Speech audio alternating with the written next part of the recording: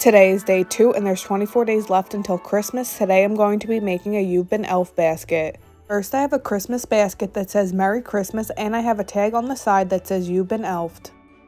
Next I have two square shaped styrofoam pieces that I covered in tissue paper. I'm going to put that in the basket. Next I'm going to fill the basket with these red shreds. First I'm going to add a container of cookies. I have these chocolate chip snowman cookies. Then I'm going to place the container on the back. Next, I'm going to add a few packs of hot chocolate mix and put that next to the cookies.